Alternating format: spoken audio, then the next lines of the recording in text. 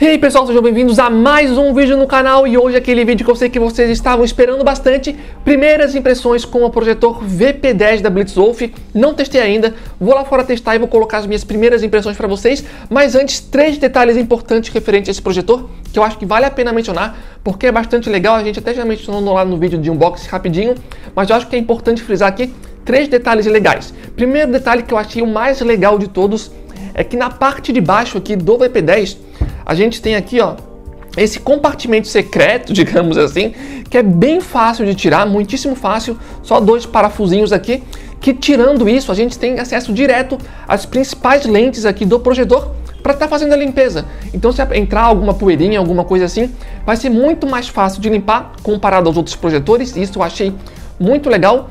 Outro detalhe aqui no lado esquerdo do projetor, tem a entrada de ar por onde o ar entra e também tem um compartimento onde a gente pode puxar para estar tá fazendo a limpeza, é outra coisa legal.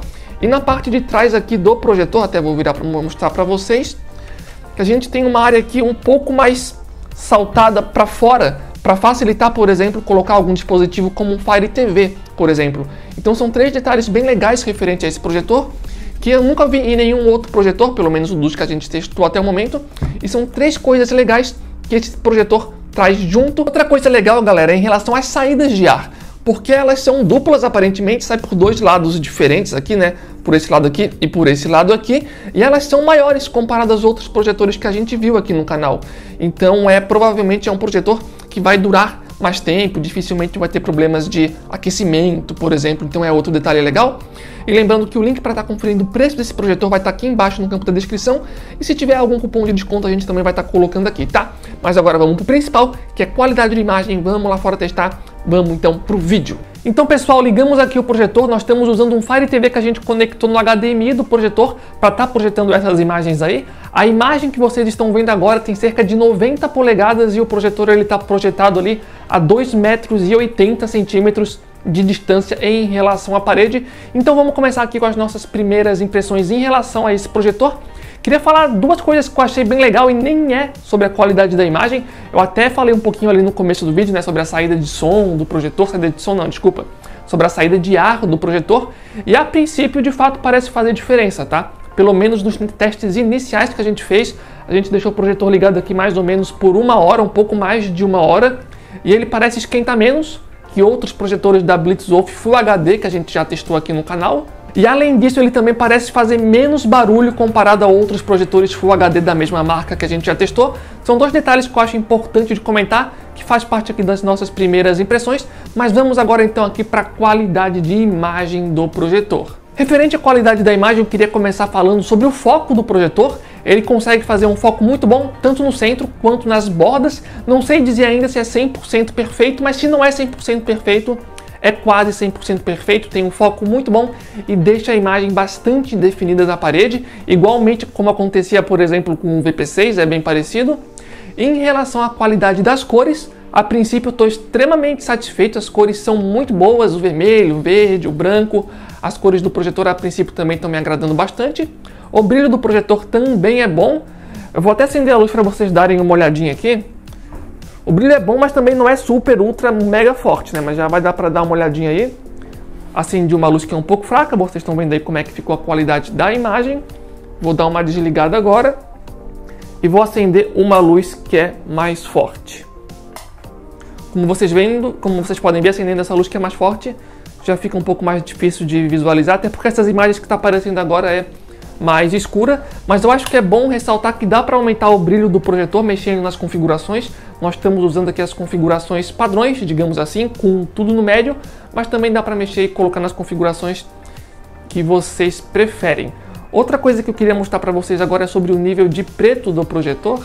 Nesse vídeo a gente consegue ver um pouquinho aí como é que está o preto do projetor, né, com essas imagens mais coloridas na frente. O preto do projetor ele é bom, tá? Ele não é super ultra profundo e super preto, mas ainda assim consegue fazer um preto bem consistente espalhado pela tela inteira, sem vazamentos de luz muito aparentes como a gente já viu com outros projetores, tá?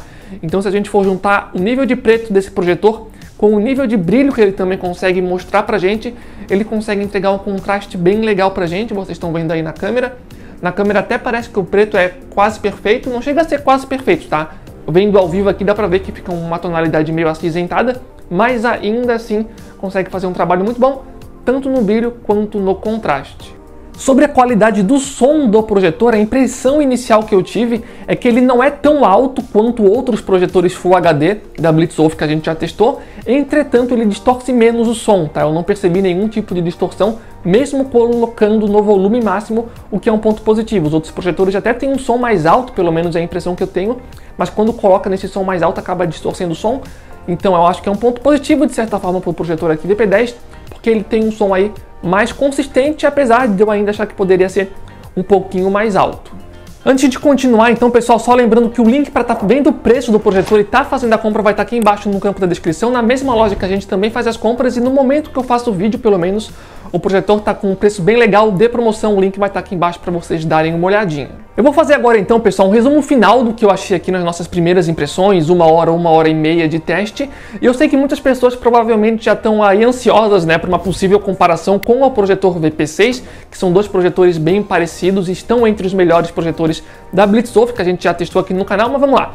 Resumo: em relação à qualidade do som, como eu falei, distorce menos que os outros projetores, é a impressão inicial que eu tive apesar de eu achar que poderia ser um pouquinho mais alto. Não que seja baixo, tá? Tá bom assim, mas eu ainda acho que poderia ser um pouquinho mais alto. Em relação à qualidade do foco, muito bom, sem nenhuma reclamação em relação a isso. Como eu falei lá, se não for 100% perfeito, é próximo disso, muito bom. Em relação às cores também nenhum problema, tô achando as cores muito boas.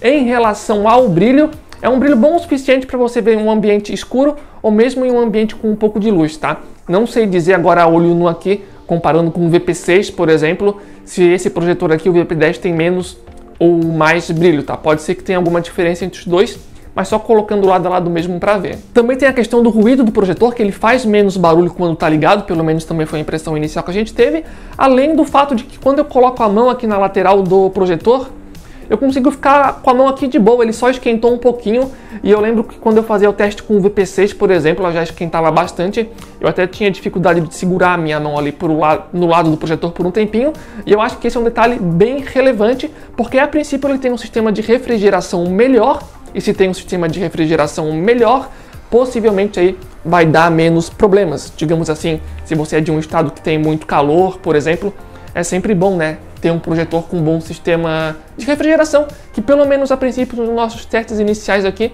é o que está se mostrando o projetor. Agora sim, comparando com o projetor VP6, que como vocês já sabem é um projetor que a gente sempre elogia bastante aqui no canal, sem ter colocado os dois projetores um no lado do outro, é bem difícil dizer, eu diria, qual que é melhor que qual, qual tem mais vantagem nisso, qual tem mais vantagem naquilo. Se você não tem nenhum dos projetores, possivelmente você vai ficar satisfeito com qualquer um deles, tá? É o que eu diria. Possivelmente você vai gostar tanto do VP6 quanto do VP10. Agora, se você já tem o VP6, por exemplo, não acho que vale necessariamente a troca para o VP10, porque a princípio, se tiver alguma diferença entre os dois, eu acredito que seja pouca, mas obviamente que a gente vai fazer os, os vídeos no futuro para ter certeza disso. Mas se você já tem o VP6, não acho que vale a pena pegar aqui o VP10, né? Porque não acredito que seja tão diferente assim. Mas se você não tem nenhum dos dois projetores, eu acho que qualquer um deles vale a pena. E sem ter feito uma comparação lado a lado, eu posso mudar de opinião depois. Mas sem ter feito a comparação lado a lado, eu tenho uma leve preferência pelo VP10, pelo fato dele fazer menos barulho, esquentar menos nos nossos testes iniciais e além disso, como eu falei lá no começo do vídeo, ele tem aquele compartimento por baixo que torna mais fácil a limpeza. Então, mesmo que o VP6, por exemplo, tenha uma imagem que seja um pouco melhor, que eu não nego o fato de que isso possa acontecer no futuro teste, mesmo assim, o fato do VP10, por exemplo, ter essas três vantagens que eu falei, menos ruído, esquentar menos e ter o compartimento embaixo para facilitar a limpeza, são coisas que pelo menos para mim pesam bastante aí numa comparação entre os dois projetores. Mas de forma geral seria isso. As primeiras impressões com o projetor foram sim positivas. Com certeza em breve aí vai ter comparação com outros projetores para as pessoas mais detalhistas, mas se você não tem nenhum projetor, nem VP6, nem VP10, qualquer um deles provavelmente aí vai estar satisfazendo vocês e sem ter colocado no lado a lado, como eu falei, eu tenho uma leve preferência no VP10 por conta desses detalhezinhos que eu comentei agora.